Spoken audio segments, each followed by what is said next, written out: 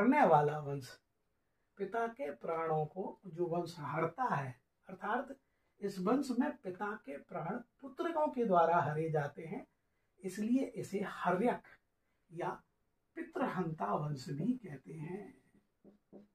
बड़ा थोड़ी विडंबना वाला वंश है कि जिस भारत में पिता की आज्ञा के लिए बेटे ने अपना राज सिंहासन त्याग दिया था और चौदह वर्ष का वनवास ले लिया था राम के देश में एक वंश ऐसा भी है जहाँ पिता की हत्या बेटे के द्वारा की जाती है। पिता के प्राण हारने के कारण इस वंश को कहते हर्यक वंश और इसे पितृहंता वंश भी कहा जाता है। ये वंश 544 बीसी से लेके 412 बीसी तक बैठेगा। 412 बीसी तक इसका शासन रहेगा। ये मगध महाजनपद का सबसे लंबे समय तक शासन करने वाला वंश है। इसे नाम दिया गया हर्याक वंश। और इसके संस्थापक हैं बिंबी शार संस्थापक हैं बिंबिशार और बिंबिशार के बेटे होंगे अजात शत्रु, जो हत्या करेंगे बिंबी शार की। और बिंबिशार की हत्या करके उनके बेटे बैठेंगे गद्दी पर अजात शत्रु। और अजात शत्रु की हत्या करेंगे उनके बेटे उदयन। हमने कहा था, पिता की हत्या हमेशा बेटे द्वारा की जाएगी। तो बिंबिसार की हत्या, अजात शत्रु ने अजात शत्रु की हत्या, उदयन ने की। और ये वंश हरेक वंश इसलिए भी इम्पोर्टेंट है, याद रखना आप। बहुत इम्पोर्टेंट इसलिए भी है, क्योंकि बिंबिसार जो पहले शासक हैं, इनकी मगध को मगध महाजनपद को मगध साम्राज्य बनाने में बड़ी भूमिका है। हल्की हल्की हम चर्चा सबकी कर लेंगे और क्लास के अंत तक हम मौर्य साम्राज्य तक पहुँच जाएँगे। तो ध्यान रखना बिंबिसार की उपलब्धियाँ कुछ हैं कि एक तो इन्होंने सबसे पहले अंग महाजनपद को पराजित किया, जो अंग सबसे पूर्व में था, उसको पराजित किया और उसको मगध में मिला लिया। अंग को पराजित किया और उसको मगध में मिला लिया। इस बिंबिसार को श्रेणिक भी कहा जाता है। सेना रखने वाला भी कहा जाता है। और ये गौतम बुद्ध के समकालीन थे। महावीर के भी ये रक्त संबंधी थे बिंबिसार और इन बिंबिसार ने कहते हैं, मगध को, मगध साम्राज्य की यात्रा का शुभारंभ किया था। मगध साम्राज्य बनने की यात्रा का शुभारंभ किया था किसने? बिंबिसार ने।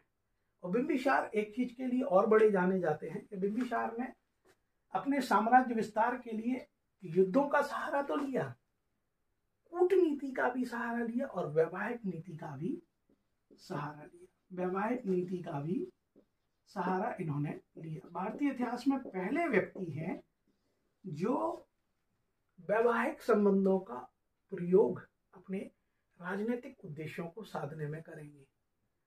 कहने का मतलब क्या? आज तो सारे लोग, बहुत से लोग ऐसी कोशिश करते हैं कि शादी संबंध अच्छी जगह हो, इसके लाभ लिए जा सकें। ऐसे ही पहले शासक थे बिम्बिसार और जिन्होंने भारत में ये परंपरा स्थापित की थी कि वैवाहिक संबंधों का राजनीतिक उद्देश्य से उन्होंने सदुपयोग किया था और उन्होंने तीन विवाह किए थे।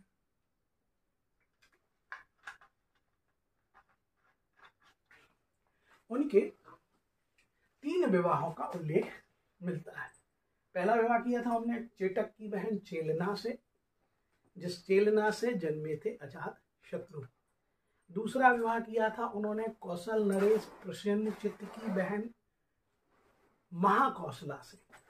और तीसरा विवाह किया था उन्होंने पंजाब नरेश की बहन छेमा से मध्य देश की राजकुमारी छेमा से।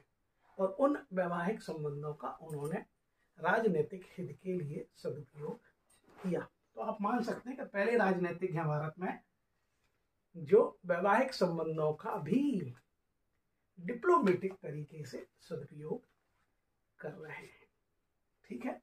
तो ध्यान रखना, बहुत से लोगों के लिए प्रेरणा का काम करता है, आदर्श का काम करता है। तो बिंबिसार की ये देन ये भी है। तीन विवाह उन्होंने किए। बिंबिसार श्रेणिक थे, सेना रखने वाले कहे जाते थे। जैन और बौद्ध धर्म के अनुयायी थे। भगवान महावीर के तो ये कहते हैं रक्त संबंधी मौसा कह सकते हैं आप उसको, कि चेलना की बहन चेटक की बहन चेलना से विवाह हुआ बिम्बिसार का, और चेटक की ही बहन से विवाह हुआ था महावीर स्वामी के पिता का। तो ध्यान रखना, ये उनके रक्त संबंधी भी कहला है। ठीक है अजात शत्रु और विमिषा महावीर स्वामी जो है, वो मौसेरे भाई हैं। खैर, यहाँ हम रक्त संबंध नहीं पढ़ाएँगे, लेकिन आप याद रखना कि बिंबिसार भगवान महावीर के रक्त संबंधी थे और बुद्ध का भी बहुत सपोर्ट करते थे, उनके मित्र थे। और बुद्ध जब बीमार हुए तो बुद्ध की सेवा के लिए उन्होंने अपने खास राजवैद जीवक को भेजा। एक व्यक्ति और बार बार आता है एग्ज़ाम में, जीवक। राजवैद है, एक गणिका का बेटा है, सालवती का बेटा है इसका लालन पालन बिम्बिसार के किसी बेटे ने किया। और तक्षशिला में उनकी शिक्षा हुई और इन जीवक का भी सदुपयोग बिंबिसार ने किया था। अवंती के राजा चंड प्रगोप्त के पीलिया रोग के इलाज के लिए उन्होंने वहाँ उन्हें भेजा था। सिविल सर्विसेज़ के एग्ज़ाम में, पीएससी स्टेट सर्विस के एग्ज़ाम में सीधा सीधा पूछ लिया जाता था कि जीवक को किसके इलाज के लिए भेजा था? तो जीवक को अवंती जो इनका प्रतिनिधि था, उनके चंड प्रकोप के इलाज के लिए उन्होंने एक राजवैद जीवक को भेजा था तो आयुर्वेदाचार, आयुर्वेद के विद्वान जीवक बिंबिसार के राज वैद्य थे। और समय समय पर जीवक ने भगवान बुद्ध की भी चिकित्सा की थी। अब बिंबिसार को उनके बेटे मार देंगे। अच्छा इन्होंने ही गिरिवज्र की स्थापना की थी, जिसे आगे चल के राजग्रही कहा जाता है। तो ये सारी उपलब्धियाँ किसकी हो गई? बिंबिसार की हो गई। इतने तथ्य हो गए कि अगर कोई आंसर आ जाए लिखने में तो आप आसानी से बिंबिसार की उपलब्धियाँ लिख सकते हो। सामरिक उपलब्धि, राजनीतिक उपलब्धि, सांस्कृतिक उपलब्धि, आपके कहते हैं वैवाहिक संबंधों के क्षेत्र की उपलब्धि, ये सारी उपलब्धियाँ हैं, कूटनीति भी उनकी है, और एक बहुत बड़ी चीज़ दुनिया को दे गए, भारत को दे गए, वैवाहिक संबंधों का सदुपयोग कैसे किया जाए? खैर तो आगे बढ़े इसके बाद, और ये आज भी है निरंतरता के रूप में। इतिहास कहता भी है कि निरंतरता और परिवर्तन के क्रम में वह तथ्य, वह विचार कहाँ तक प्रासंगिक है? तो निरंतरता और परिवर्तन के यात्रा में ये तत्व, ये विचार आज भी प्रासंगिक है। बिल्कुल है यार। खैर, हम राजनीतिकों के नाम नहीं लेंगे, लेकिन आप अपने आसपास देखेंगे तो वैवाहिक संबंधों से जुड़े हुए कई लोग आपको दिख जाएँगे जो केवल उस वैवाहिक संबंध की वजह से ही मुख्य पटल पे हैं। उनकी उपलब्धि ही वह वैवाहिक संबंध है। खैर, कहानी आगे बढ़ा देते हैं हम और बिम्बिसार के बाद आ जाते हैं उनके बेटे अजात शत्रु, क्योंकि हमें कम से कम मगध के ये तीन वंशों की चर्चा और मौर्य साम्राज्य तक वहाँ पहुँचना है। अजात शत्रु की उपलब्धि चार सौ बानवे बीसी में वो गद्दी पर बैठे 492 तक बिम्बिसार थे और 460 बीसी तक उनका शासन है। अजात शत्रु मतलब जिसका कोई शत्रु ना हो, उन्हें कुड़िक भी कहा जाता है। अजात शत्रु को कुड़िक भी कहा जाता है और अजात शत्रु ने भी मगध का विस्तार किया। पिता के काम को आगे बढ़ाया। उनने अंग को पराजित करके साम्राज्य में शामिल किया था। इन्होंने काशी और वैशाली को पराजित किया और मगध साम्राज्य में मिला लिया। ये कुछ नवीन हथियार भी लेके आए थे। रथ मूसलक और महाशिला कंटक। रथ मूसलक और महाशिला कंटक दो नवीन वेपन्स, न्यू वेपन्स, नए हथियार युद्ध में नई प्रौद्योगिकी लेके आए थे कौन? अजात शत्रु। और अजात शत्रु ने कहते हैं कि कौशल नरेश से भी लड़ाई की बार बार बाद में चल के एक बार वो जीते, एक बार हारे और फिर समझौता हो गया। लेकिन वैशाली को और काशी को मगध में मिलाया और मगध साम्राज्य की यात्रा आगे बढ़ाई। सबसे बड़ी उपलब्धि अजात शत्रु की क्या है? बिम्बिसार के बेटे। कि इन्हीं के समय में चार सौ तिरासी बीसी में मृत्यु हो गई गौतम बुद्ध की। तो चार सौ तिरासी बीसी में अजात शत्रु ने ही बौद्ध धर्म को संरक्षित करने के उद्देश्य से बुलाई थी पहली बौद्ध शब्दती अपनी राजधानी राजग्रही की सात पर्णी की गुफा में और महाकश्यप ने की थी इसकी अध्यक्षता। चार सौ तिरासी बीसी में पहली बौद्ध संगति हुई और भगवान बुद्ध की मृत्यु महापरिनिर्वाण अजात शत्रु के काल में हुआ। तो इन पर ज़िम्मेदारी आई बौद्ध धर्म को संरक्षित करने की कि बुद्ध तो चले गए। उनके उपदेश, उनकी शिक्षाएँ कैसे संग्रहित रहेंगी? तो इन्होंने फ़र्स्ट बुद्धिस्ट काउंसिल आयोजित की। और कहते हैं, उन्हीं के दो शिष्यों को आनंद को सुत्त पिटक लिखने का उत्तरदायित्व मिला और उपाली को बिनम पिटक लिखने का कहते हैं उत्तरदायित्व मिला। तो दो पिटक उभर के आए जो बौद्ध धर्म के, बौद्ध साहित्य के आधार स्तंभ हैं। तो ये सारा श्रेय दिया जाता है अछात शत्रु को। और आप ध्यान रखना, पूरे मगध महाजनपद के काल के दौरान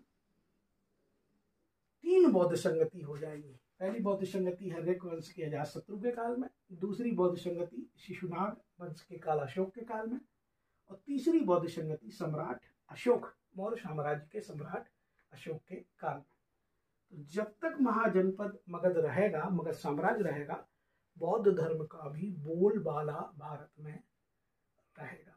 और बुद्ध खुद बिंबिसार के और अजात शत्रु के समकालीन है। और इसी समय में बौद्ध धर्म के साथ साथ जैन धर्म भी बहुत उभार पर रहेगा। और सनातन धर्म संस्कृति या वैदिक धर्म जो है उसका थोड़ा सा पराभाव इस काल में होगा। अब देखना पूरे मगध महाजनपद के जो वंश हैं, वो कहीं ना कहीं, हर एक या तो बौद्ध है या जैन है, हर एक वंश। शिशुनाग भी जैन या बौद्ध है। नंद तो प्योर जैन धर्म को मानते हैं। मौर्य साम्राज्य के अशोक, चंद्रगुप्त मौर्य जैन मुनि बन के मरे थे, संलिखना हुई थी और अशोक बौद्ध थे, आपको मालूम। लेकिन हाँ ऐसा नहीं कि वैदिक संस्कृति पराभाव की ओर गई। लेकिन मौर्योत्तर काल में इनके बाद वो वैदिक संस्कृति वापसी करेगी और इन धर्मों का पतन शुरू हो जाएगा। चर्चा कभी फिर हम और करेंगे।